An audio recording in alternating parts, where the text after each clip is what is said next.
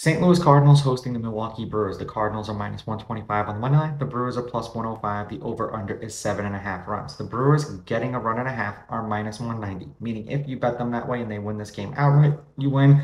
They lose by one, you win.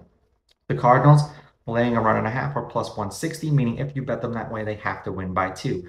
Lauer has not pitched against the Cardinals this year, and it was supposed to be Hudson, and then they changed it to Wainwright. Wainwright has pitched against the Brewers this year. He didn't pitch very well. He went four and a third, four runs, four earned. They lost that game five to one.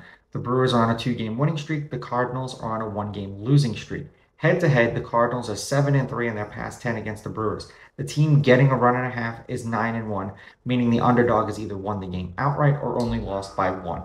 The over/under at whatever the casino set it at has been five and five in their past ten meetings, and the over/under at uh, seven and a half is also five and five. So no help there. The road team is six and four. Now, the numbers tell you to take the Cardinals with the money line because they own seemingly the Brewers. Just this pitching matchup is the reason why I'm going to lean Brewers with the clean sweep. Brewers with the money line, Brewers with the runs and the over. And the only reason I'm going over when you look at these guys' ERAs is because Wainwright pitched once against the Brewers this year and it wasn't a very good outing. Let's see if the numbers are right. Let's see if the numbers are wrong.